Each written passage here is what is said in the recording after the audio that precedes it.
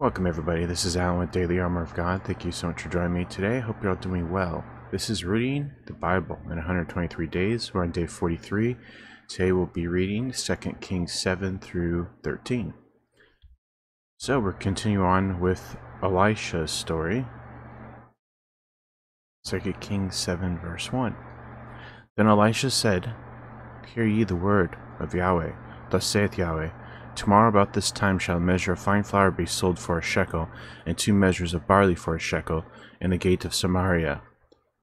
Then the Lord on whose hand the king leaned answered the man of God and said, Behold, if Yahweh will would make windows in heaven, I might might this thing be? And he said, Behold, thou shalt see it with thine eyes, but shalt not eat thereof. And there were four leprous men at the entering in of the gate, and they said one to another, Why sit here we why sit we here until we die? If we say we will enter into the city, then the famine is in the city, and we shall die there. And if we sit still here, we die also. Now therefore come, let us fall unto the host of the Syrians. If they save us alive, we shall live, and if they kill us, we shall but die. And they rose up in the twilight to go unto the camp of the Syrians. And when they were come to the uttermost part of the camp of Syria, behold, there was no man there. The Lord had made the host of the Syrians to hear a noise of chariots and a noise of horses, even the noise of a great host. And they said one to another, Lo, the king of Israel hath hired against us the king of the Hittites and the kings of the Egyptians to come upon us. Wherefore they arose and fled in the twilight, and left their tents and their horses and their asses, even the camp as it was, and fled for their life. But when these lepers came to the uttermost part of the camp, they went into one tent, and did eat and drink, and carried thence silver and gold and raiment, and went and hid it, and came again and entered into another tent, and carried thence also, and went and hid it. And they said one to another, We do not well, this day is day of good tidings, and we hold our peace. If we tarry till the morning light, some mischief will come upon us. Now therefore come, that we may go and tell the king's household. So they came and called unto the porter of the city, and they told them, saying, We came to camp of the Syrians, and behold, there was no man there, neither voice of man, but horses tied and asses tied, and the tents as they were. And he called the porters, and they told it to the king's house within. And the king arose in the night and said unto the servants, I will now show you what the Syrians have done to us. They know that we be hungry. Therefore they are gone out of the camp to hide themselves in the field, saying, When they come out to the city, we shall catch them alive and get into the city. And one of his servants answered and said, Let some take, I pray thee, five of the horses that remain which are left in the city. Behold, they are as all the multitude of Israel that are left in it. Behold, I say, they are even as all the multitude of the Israelites that are consumed. And let us send and see. They took therefore two chariots, and the king sent after the host of the Syrians, saying, Go and see. They went after them unto Jordan, and lo, all the way was full of garments and vessels which the Syrians had cast away in their haste. And the messengers returned and told the king. And the people went out and spoiled the tents of the Syrians, so a measure of fine flour was sold for a shekel, and two measures of barley for a shekel, according to the word of Yahweh. And the king appointed the Lord on whose hand he leaned to have charge of the gate, and the people trode upon him in the gate, and he died. And as the man of God had said, who spake when the king came down to him. And it came to pass, as the man of God had spoken to the king, saying, Two measures of barley for a shekel, and a measure of fine flour for a shekel, shall be tomorrow about this time in the gate of Samaria. And that Lord answered the man of God and said, Now behold, if Yahweh should make windows in heaven, might such a thing be? And he said, Behold, thou shalt see it with thine eyes, but shalt not eat thereof. And so it fell out unto him, for the people trode upon him in the gate, and he died. 2 Kings 8 Then spake Elisha unto the woman whose son had he restored to life, saying, Arise and go thou and thine household and sojourn wheresoever thou canst sojourn, for Yahweh hath called for a famine, and it shall also come upon the land seven years. And the woman arose and did after the saying of the man of God, and she went with her household and sojourned in the land of the Philistines seven years. And it came to pass at the seven years' end that the woman returned out of the land of the Philistines, and she went forth to cry unto the king for her house and for her land. And the king talked with Gehazi the servant of the man of God, saying, Tell me, I pray thee, all the great things that Elisha hath done. And it came to pass as he was telling the king how he had restored body to life, that behold, the woman whose son he had restored to life cried to the king for her house and for her land. And Gehazi said, My lord, O king, this is the woman, and this is her son, whom Elisha restored to life. And when the king asked the woman, she told him. So the king appointed unto her certain officers, saying, Restore all that was hers, and all the fruits of the field since the day that she left the land, even until now. And Elisha came to Damascus, and Benhadad, the king of Syria, was sick, and it was told him, saying, The man of God is come hither. The king said unto Hazael, Take a present in thine hand, and go and meet the man of God, and require of Yahweh by him, saying, Shall I recover of this disease? So Hazael went to meet him, and took a present with him, even of every good thing at Damascus, forty camels burden, and came and stood before him, and said, Thy son Benhadad, king of Syria, hath sent me to thee, saying, Shall I recover of this disease? And Elisha said unto him, Go, say unto him, Thou mayest certainly recover. Howbeit Yahweh hath showed me that he shall surely die. And he settled his countenance steadfastly until he was ashamed, and the man of God wept. And Hazael said, Why weepeth my lord? And he answered, Because I know the evil that thou wilt do unto the children of Israel. Their strongholds thou wilt set on fire, their young men wilt thou slay with the sword, and wilt dash their children and rip up their women with child. And Hazael said, But what? Is thy servant a dog that he should do this great thing? And Elisha answered, Yahweh hath showed me that thou shalt be king over Syria. So he departed from Elisha and came to his master and said to him, What said Elisha to thee? And he answers, He told me that thou shouldst surely recover. And it came to pass on the morrow that he took a thick cloth and dipped it in water and spread it on his face, so that he died and Hazael reigned in his stead. And in the fifth year of Joram son of Ahab king of Israel, Jehoshaphat being then king of Judah, Joram son of Jehoshaphat king of Judah began to reign. Thirty and two years old was he when he began to reign, and he reigned eight years in Jerusalem. And he walked in the way of the kings of Israel, and did as the house of Ahab. For the daughter of Ahab was his wife, and he did evil things, evil in the sight of Yahweh. Yet Yahweh would not destroy Judah for David his servant's sake, as he promised him to give him always a light into his children.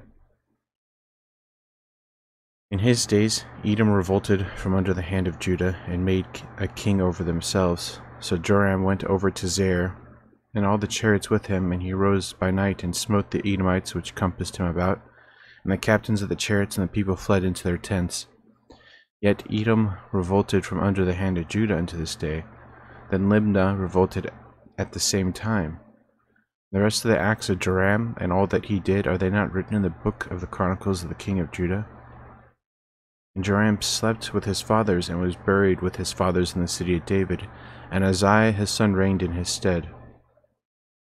In the twelfth year of Joram, the son of Ahab, king of Israel, did Ahaziah, the son of Jehoram, king of Judah, begin to reign.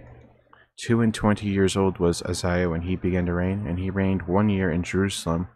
And his mother's name was Athaliah, the daughter of Omri, king of Israel.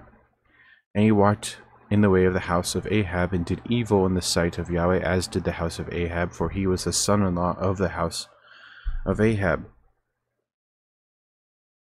And he went with Joram the son of Ahab to the war against Hazael king of Syria and Ramoth Gilead. And the Syrians wounded Joram, King Joram went back to be healed in Jezreel of the wounds which the Syrians had given him at Ramah, when he fought against Hazael king of Syria, and Ahaziah the son of Joram king of Judah went down to see Joram the son of Ahab in Jezreel, because he was sick.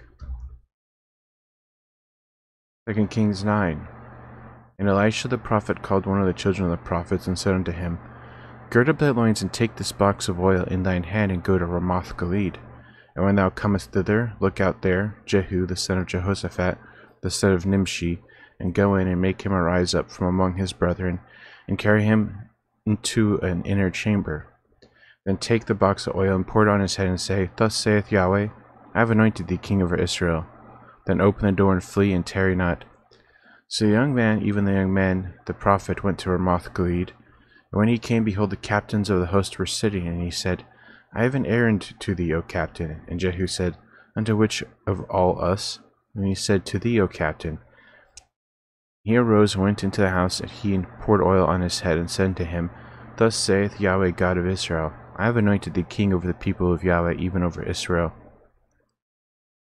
And thou shalt smite the house of Ahab my master, that I may avenge the blood of my servants the prophets, and the blood of all the servants of Yahweh, at the hand of Jezebel.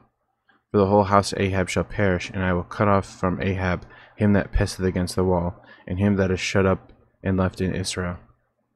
And I'll make the house of Ahab like the house of Jeroboam the son of Nebat, and like the house of Baasha the son of Ahijah. The dogs shall eat Jezebel in the portion of Jezreel, and there shall be none to bury her. And he opened the door and fled. Then Jehu came forth to the servants of his lord, and one said unto him, Is all well? Wherefore came this mad fellow to thee? And he said unto them, You know the man in his communication. And they said, It is false. Tell us now. And he said, Thus and thus spake he to me, saying, Thus saith the Lord, Yahweh, I have anointed thee king over Israel. And then they hasted and took every man his garment and put it under him on top of the stairs and blew a trumpet, saying, Jehu is king. So Jehu the son of Jehoshaphat the son of Nimshi conspired against Joram. Now Joram had kept Ramoth Gilead, he and all Israel, because of Hazael king of Syria. But King Joram was returned to be healed in Jezreel of the wounds which the Syrians had given him, when he fought with Hazael king of Syria. And Jehu said, If it be your minds, then let none go forth nor escape out of the city to go tell in Jezreel. So Jehu rode in a chariot and went to Jezreel, for Joram lay there, and Ahaziah king of Judah was come down to see Joram. And there stood a watchman on the tower in Jezreel, and he spied the company of Jehu as he came, and said, I see a company. And Joram said, Take a horseman and send to meet them, and let him say, Is it peace? So there went one on horseback to meet him, and said, Thus saith the king, Is it peace? And Jehu said, What hast thou to do with peace? Turn thee behind me. And the watchman told, saying, The messenger came to them, but he cometh not again. Then he sent out a second on horseback, which came to them, and said, Thus saith the king, Is it peace? And Jehu answered, What hast thou to do with peace? Turn thee behind me. And the watchman told, saying, He came even unto them, and cometh not again. And the driving is like the driving of Jehu the son of Nimshi, for he driveth furiously. And Joram said, Make ready. And his chariot was made ready, and Joram king of Israel and Ahaziah king of Judah went out, each in his chariot, and they went out against Jehu, and met him in the portion of Naboth the Jezreelite.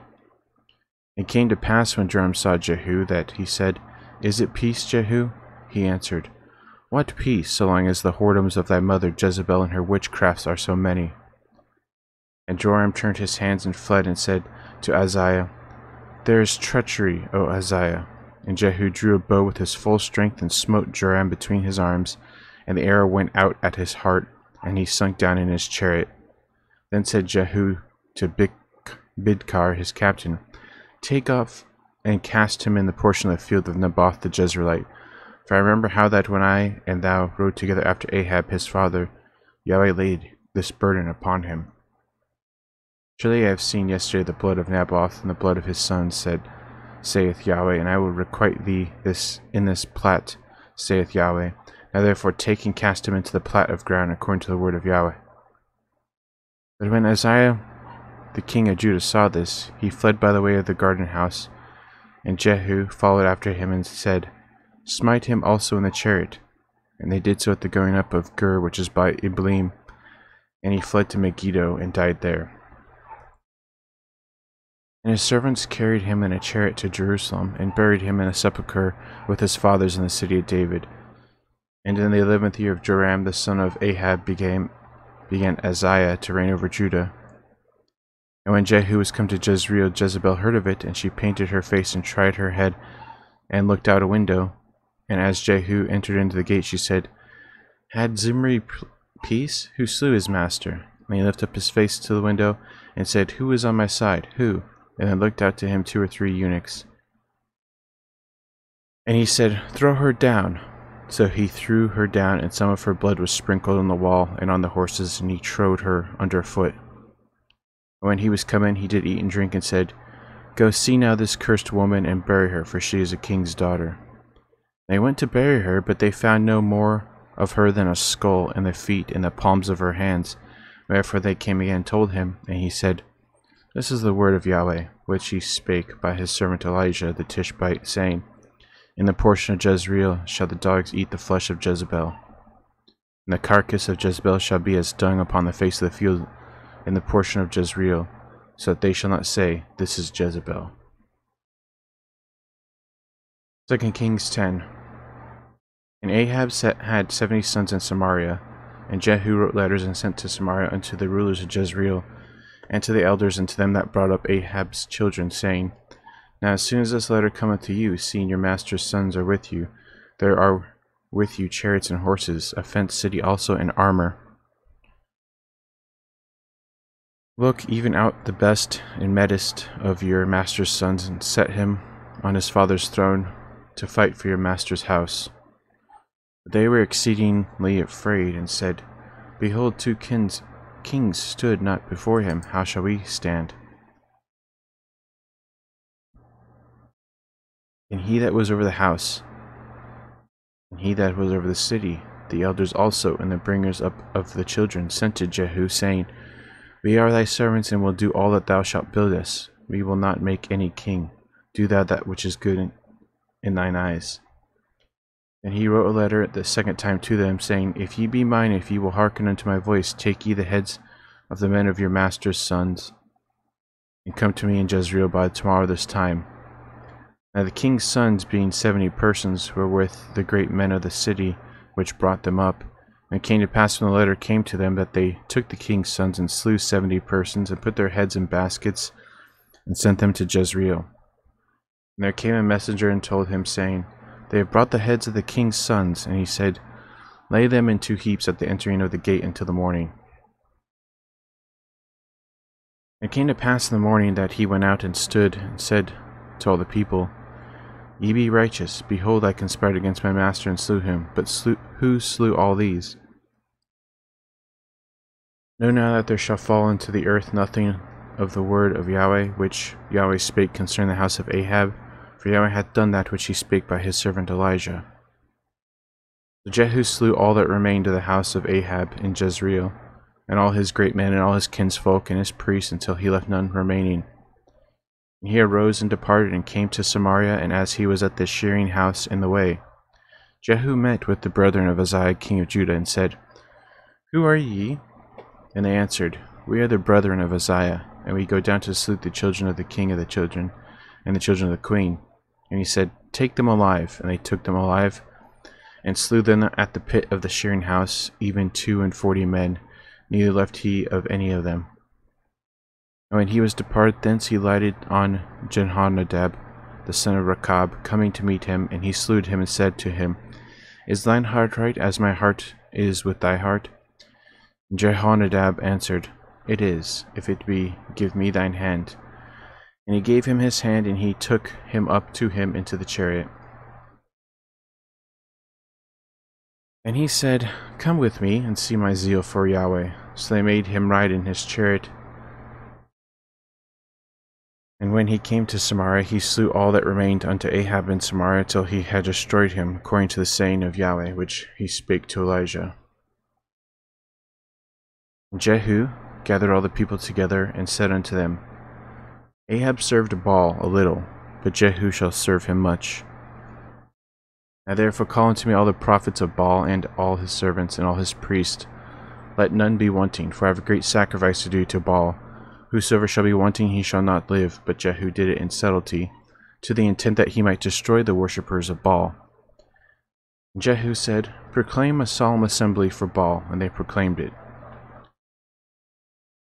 And Jehu sent through all Israel, and all that all the worshippers of Baal came, so that there was not a man left that came not. And they came into the house of Baal. And the house of Baal was full from one end to another. And he said unto him that was over the vestry, Bring forth vestments for all the worshippers of Baal. And he brought them forth vestments. And Jehu went, and Jehonadab the son of Rechab, into the house of Baal, and said unto the worshippers of Baal, Search and look that there be here with you none of the servants of Yahweh, but the worshippers of Baal only. So when they went in to offer sacrifices and burnt offerings, Jehu appointed fourscore men without, and said, If any of the men whom I have brought into your hands escape, he that letteth him go, his life shall be for the life of him.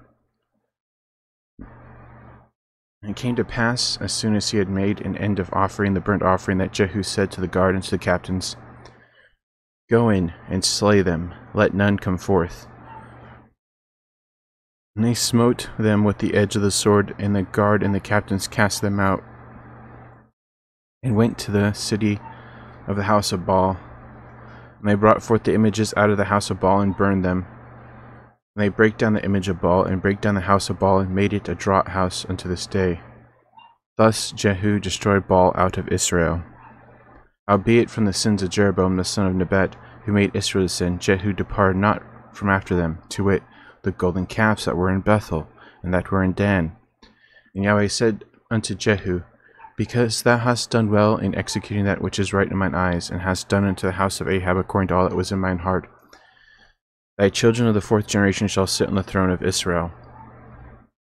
But Jehu took no heed to walk in the law of Yahweh God of Israel with all his heart, for he departed not from the sins of Jeroboam, which made Israel to sin. In those days Yahweh began to cut Israel short, and Hazael smote them in all the coast of Israel.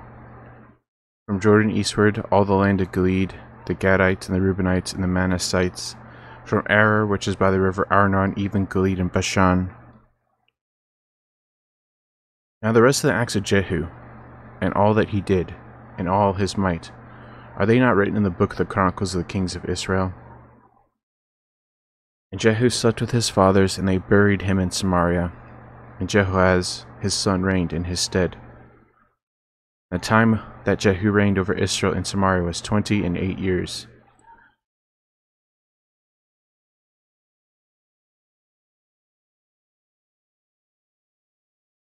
Second Kings 11. And when Athaliah, the mother of Ahaziah, saw that her son was dead, she arose and destroyed all the seed royal. But Jehosheba, the daughter of King Joram, sister of Ahaziah, took Joash the son of Ahaziah, and stole him from among the king's sons which were slain, and they hid him, even him and his nurse, in the bedchamber from Athaliah, so that he was not slain. And he was with her hid in the house of Yahweh six years, and Athaliah did reign over the land. In The seventh year Jehoiada sent and fetched the rulers over hundreds, with the captains and the guard, and brought them in him into the house of Yahweh, and made a covenant with them, and took an oath of them in the house of Yahweh, and showed them the king's son.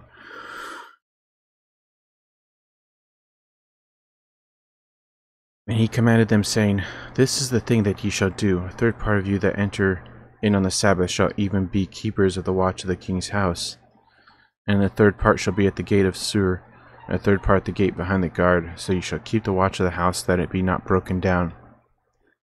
And two parts of all you that go forth on the Sabbath, even they shall keep the watch of the house of Yahweh about the king. And ye shall compass the king round about, every man with his weapons in his hand, and he that cometh within ranges, let him be slain. And be ye with the king as he goeth out and as he cometh in. And the captains over the hundreds did according to all the things that Jehoiada the priest commanded. And they took every man his men that were to come in on the Sabbath with them that should go out on the Sabbath, and came to Jehoiada the priest. And the captains over hundreds did the priests give King David spears and shields that were in the temple of Yahweh. And the guards stood every man with his weapons in his hand round about the king from the right corner of the temple to the left corner of the temple along by the altar in the temple. And he brought forth the king's son and put the crown upon him and gave him the testimony, and they made him king and anointed him. And they clapped their hands and said, God save the king. And when Athaliah heard the noise of the guard and the people, she came to the people into the temple of Yahweh. And when she looked, behold, the king stood by a pillar, as manner was, and the princes and the trumpeters by the king and all the people of the land rejoiced and blew with trumpets, and Athaliah rent her clothes and cried, Treason, treason! But Jehoiada the priest commanded the captains of hundreds, the officer of the host, and said unto them, Have her forth without the ranges, and him that followeth her kill with the sword. For the priest hath said, Let her not be slain in the house of Yahweh. They laid hands on her, and she went by the way by the which the horses came into the king's house, and there was she slain. And Jehoiada made a covenant between Yahweh and the king and the people that they should be Yahweh's people, between the king also and the people. And all the people of the land went into the house of Baal and brake it down, his altars and his images brake they in pieces thoroughly, and slew Mattan the priest of Baal before the altars, and the priests appointed officers over the house of Yahweh. And he took the rulers over hundreds and captains and the guard and all the people of the land, and they brought down the king from the house of Yahweh, and came by the way of the gate of the guard to the king's house, and he sat on the throne of the kings. And all the people of the land rejoiced, and the city was in quiet. And they slew Athaliah with the sword beside the king's house. Seven years old was Jehoash when he began to reign. 2 Kings 12 In the seventh year of Jehu, Jehoash began to reign, and forty years reigned he in Jerusalem, and his mother's name was Zibiah of Beersheba. Jehoash did that which was right in the sight of Yahweh all his days, wherein Jehoiada the priest instructed him. But the high places were not taken away. The people still sacrificed and burnt incense in high places. And Jehoash said to the priests, All the money of the dedicated things that is brought into the house of Yahweh, even the money of every one that passeth the account, the money that every man is set at, and all the money that cometh into any man's heart to bring into the house of Yahweh, let the priests take it to them, every man of his acquaintance, and let them repair the breaches of the house, wheresoever any breach shall be found. But it was so that in the three and twentieth year of King Jehoash the priests had not repaired the breaches of the house. And King Jehoash called for Jehoiada the priest and other priests, and said unto them, Why repair ye not the breaches of the house? Now therefore receive no more money of your acquaintance, but deliver it for the breaches of the house. And the priests consented to receive no more money of the people, neither to repair the breaches of the house. But Jehoiada the priest took a chest and bored a hole in the lid of it, and set it beside the altar. On the right side is one that cometh into the house of Yahweh. And the priest that kept the door put therein all the money that was brought into the house of Yahweh. And it was so when they saw that there was much money in the chest that the king's scribe and the high priest came up, and they put up the bags and told the money that was found in the house of Yahweh. And they gave the money, being told, into the hands of them that did the work, that had the oversight of the house of Yahweh, and they laid it out to the carpenters and builders that wrought upon the house of Yahweh, and to masons and hewers of stone, and to buy timber and hewed stone to repair the breaches of the house of Yahweh and for all that was laid out for the house to repair it. Howbeit, there was not made for the house of Yahweh bowls of silver, snuffers, basins, trumpets, any vessels of gold or vessels of silver, of the money that was brought into the house of Yahweh. They gave that to the workmen and repaired therewith the house of Yahweh. Moreover, they reckoned not with the men into whose hand they delivered the money to be bestowed on the workmen, for they dealt faithfully. The trespass money and the sin money was not brought into the house of Yahweh. It was the priests. And then Hazael, king of Syria, went up and fought against Gath and took it. And Hazael set his face to go up to Jerusalem. And Jehoash, king of Judah, took all the hallowed things that Jehoshaphat and Jehoram and Ahaziah his fathers, king of Judah, had dedicated, and his own hallowed things, and all the gold that was found in the treasuries of the house of Yahweh and in the king's house, and sent it to Hazael king of Syria, and he went away from Jerusalem. And the rest of the acts of Jehoash, and all that he did, are they not written in the book of the Chronicles of the Kings of Judah? And his servants arose and made a conspiracy to, and slew Joash in the house of Millo, which goeth down to Silla. For Jozachar the son of Shimeath and Jehozabad son of Shomar his servants smote him, and he died, and they buried him with his fathers in the city of David. And Amaziah his son reigned in his stead. 2 Kings 13 In the three and twentieth year, Joash the son of Amaziah, king of Judah, Jehoahaz the son of Jehu began to reign over Israel in Samaria, and reigned seventeen years. And he did that which was evil in the sight of Yahweh, and followed the sins of Jeroboam the son of Nebat, which made Israel to sin. He departed not therefrom. The anger of Yahweh was kindled against Israel, and he delivered them into the hand of Hazael king of Syria, and into the hand of Benhadad the son of Hazael all their days. And Jehoahaz besought Yahweh, and Yahweh hearkened unto him, for he saw the oppression of Israel, because the king of Syria oppressed them. And Yahweh gave Israel a savior, so that they went out under the hand of the Syrians, and the children of Israel dwelt in their tents as before time. Nevertheless, they departed not from the sins of the house of Jeroboam, who made Israel sin, but walked therein. And they remained a grove also in Samaria. Neither did he leave of the people to Jehoahaz but fifty horsemen and ten chariots and ten thousand footmen, for the king of Syria had destroyed them and had made them like the dust by threshing. Now the rest of the acts of Jehoahaz and all that he did in his might, are they not written in the book of the Chronicles of the kings of Israel?